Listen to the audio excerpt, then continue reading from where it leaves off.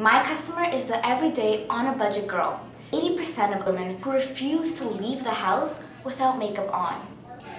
The problem she faces is when the unexpected happens and her cosmetics are damaged.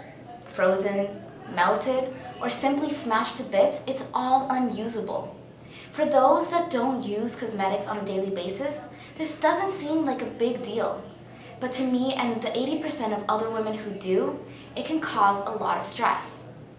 If you look at cost, it can be extremely expensive to replace one item. If you look at availability, it's a very big inconvenience to run out on a whim when something needs to be replaced last minute. The solution is a reusable, flexible, lightweight case that can be used for multiple products.